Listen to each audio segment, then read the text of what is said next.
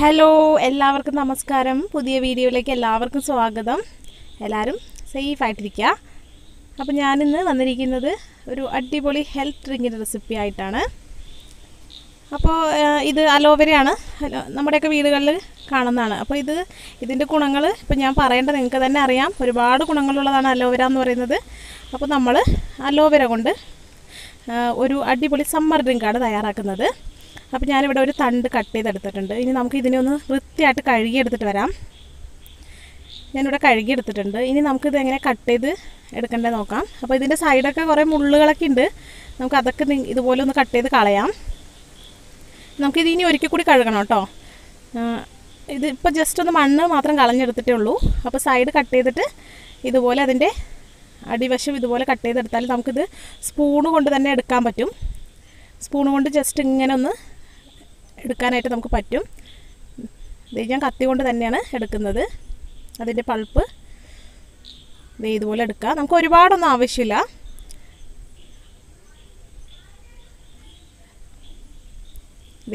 ഇതുപോലെ എടുക്കുക അപ്പോൾ ഇതിന്റെ തൊലിയൊക്കെ ഒന്ന് കളഞ്ഞെടുക്കുക ആ പച്ച ഭാഗം മാറ്റിയെടുക്കുക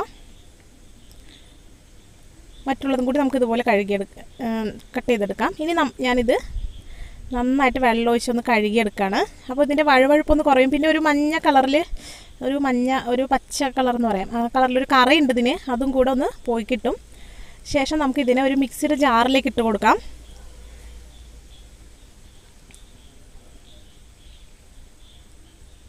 അപ്പോൾ ഞാൻ മിക്സിയുടെ ജാറിൽ അതിട്ട് കൊടുത്തിട്ടുണ്ട്. അടുത്തായിട്ട് ഒരു കഷ്ണം ഇഞ്ചി ഇതുപോലെ ചെറിയ ചെറിയ കഷ്ണങ്ങളാക്കിയിട്ട് ഇതിനോടൊപ്പം ചേർത്ത് കൊടുക്കുന്നുണ്ട്. ഇനി ഞാനിത് തയ്യാറാക്കുന്നത് ഒരു മൂന്ന് മീഡിയം സൈസ് ഗ്ലാസ്സിലാണ് ഗ്ലാസ് അളവാണ് തയ്യാറാക്കുന്നത്.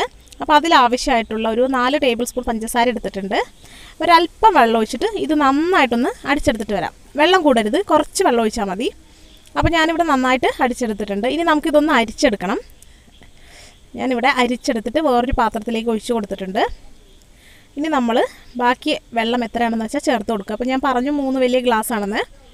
മൂന്ന് മീഡിയം സൈസ് ഗ്ലാസ് അപ്പോൾ ബാക്കി വെള്ളം കൂടി ചേർത്ത് കൊടുക്കുക. അതിലേക്ക് ഒരു ഒരു വലിയ ചെറുനാരങ്ങയുടെ നീര് മുഴുവനായിട്ട് ചേർത്ത് കൊടുത്ത് നന്നായി മിക്സ് ചെയ്തെടുക്കുക. അപ്പോൾ ഇത്രയേ ഉള്ളൂ നമ്മുടെ ജ്യൂസ് ഇപ്പോൾ നല്ല തണുപ്പിൽ കുടിക്കാൻ വേണ്ടിയാണ് നന്നായി തണുത്ത് കുടിക്കാൻ വേണ്ടിയാണെങ്കിൽ ഐസ് ക്യൂബ്സ് ചേർത്ത് കൊടുത്താൽ മതി.